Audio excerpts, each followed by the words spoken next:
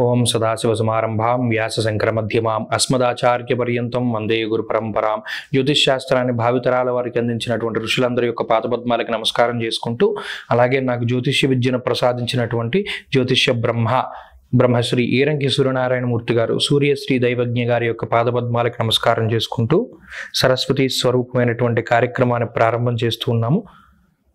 Telugu devotional ప్రేక్షకులందరికీ నమస్కారం అండి. డిసెంబర్ నెల మనం ఇరవై రెండో తారీఖు ఆదివారం లగాయితూ ఈ నెల ఇరవై ఎనిమిదవ తారీఖు శనివారం వరకు ఉండేటువంటి గ్రహగతుల ఆధారంగా కుంభరాశి. ధనిష్ట అర్థం శతవిషం పూర్వాభాద్రాశ్రయం కుంభం. ధనిష్ట నక్షత్రం మూడు నాలుగు పాదాలు శతవిషం నాలుగు పాదాలు పూర్వాభాద్ర మొదటి మూడు పాదాలు కలిపి కుంభరాశిగా చెప్పబడ్డాయి. కుంభరాశి వారికి ఈ వారం చాలా అనుకూలమైనటువంటి పరిస్థితి గోచరిస్తూ ఉన్నది. ముఖ్యంగా ఈ రాశికి పదో స్థానంలో కుజుని యొక్క దిగ్బలం కారణం చేత ఈ సంవత్సరాంతాన్ని ఈ వారాంతాన్ని ఈ నెల చివరిని కూడా చాలా ఉల్లాసంగా కుంభరాశి వారు కాలం గడపబోతూ ఉన్నారు.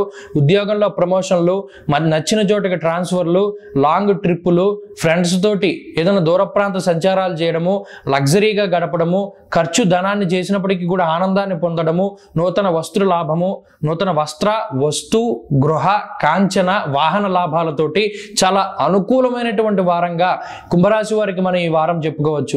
చాలా అనుకూలంగా ఉంటుంది. అన్నీ కూడా చాలా ఫేవర్గా ఉన్నాయి.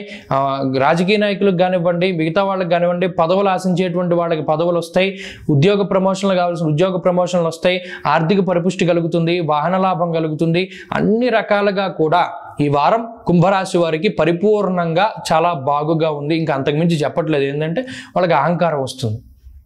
కాబట్టి అంతమించి చెప్పదలుచుకోలేదు. కుంభరాశి వారికి చాలా అనుకూలంగా ఉంది. ఏ పనైనా ప్రారంభించుకోవచ్చు. వ్యాపారాన్ని విస్తరణ చేసుకోవచ్చు. కొత్త వ్యాపారాలు ప్రారంభించుకోవచ్చు. ఏదైనా సరే కుంభరాశి వారు ఈ వారం చేసుకోవడానికి ఆస్కారం అధికంగా ఉంది.